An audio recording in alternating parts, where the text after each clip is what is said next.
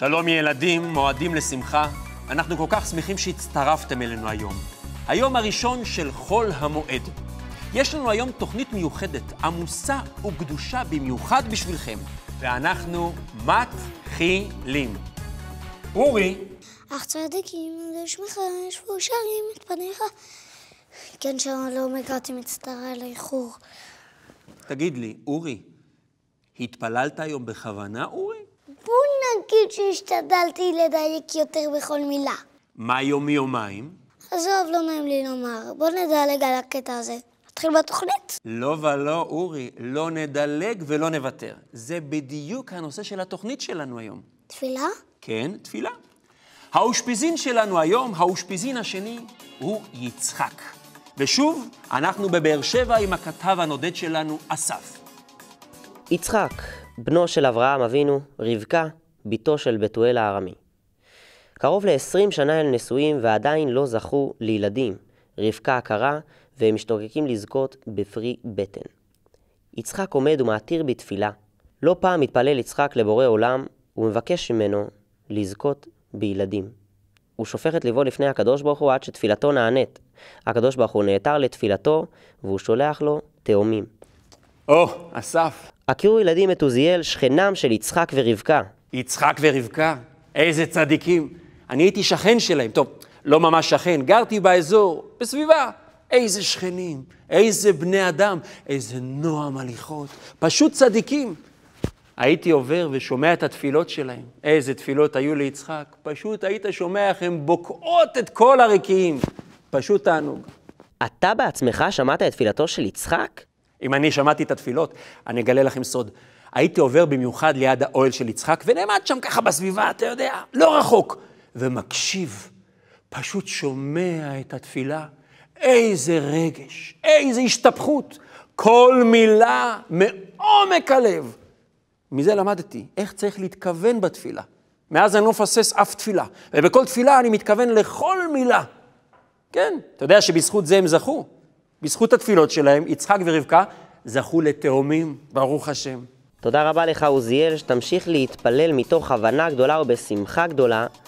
עכשיו אני ממליץ לך להזדרז, כי השמש שוקעת, ושלא תפספס תפילת מנחה, שתיקן יצחק אבינו.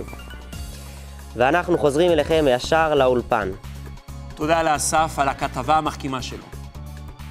אורי, אתה נראה לי קצת מאוהר. בהחלט מערער. אני מנחש שזה קשור לסיבה שבגללה התפללת היום קצת בכוונה, לא? אתה מנחש נכון, קוראים מחשבות או מה? לא, אני לא קורא מחשבות, אתה פשוט סקרנת אותי. אז אני אספר וזהו. פשוט אתמול קראתי סיפורים על צדיקים שהתפללו. בתפילה מאוד התקרבו אל השם. אז החלטתי לנסות גם. ממש יפה. אורי הצדיק. רציתי כל התפילה לחשוב על זה שבתפילה אני יותר קרוב אל השם, אבל זה היה קשה. כי מדי פעם נכנסו לי מחשבות על ההופעה. מהם החדשות שאני מתפלל ומקווה שההורים שלי יסכימו לקנות לי אותם.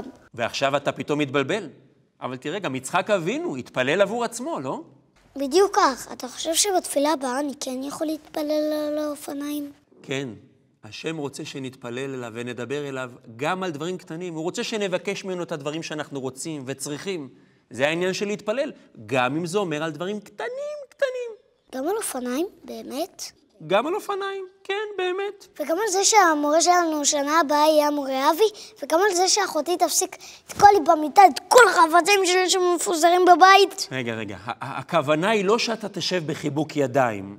השם נתן לנו את התפילה, אבל הוא רוצה שגם נשתדל בעצמנו, שנעשה ככל שביכולתנו לקבל את מה שאנחנו רוצים. למשל, לפנות אל אחותך, לדבר אליה בצורה יפה, לבקש ממנה שתעזור לך לסדר את החדר. הבנת? אז זה אומר שלא צריך להתפלל על זה? הכוונה היא שצריך גם להתפלל וגם להשתדל בעצמנו כמיטב יכולתנו. אתם יודעים שחכמינו אומרים שהמילה תפילה, המשמעות שלה זה להתחבר. תפילה, אנחנו מתחברים אל הקדוש ברוך הוא. תתפלל על זה ובעזרת השם נצליח. בואו נעבור אל פינת ההלכה. ועכשיו, לפינת ההלכה. יום ב' תפילה. כאשר יהודי מתפלל לתפילת שמונה עשרה, הוא צריך לעמוד וליישר את רגליו שיהיו כמו רגל אחת, על מנת להידמות למלאכים, שעליהם נאמר, ורגליהם רגל ישרה. ופניו צריכים להיות לכיוון ירושלים, אל עבר קודש הקודשים שבבית המקדש. גם כשמתפללים באוטובוס או ברכבת, צריך להשתדל, אם אפשר, לכוון את הפנים לכיוון ירושלים. אך במקרה שזה לא נוח ופוגע בכוונת התפילה, אין הקפדה, ויכולים להתפלל גם לכיוון אחר.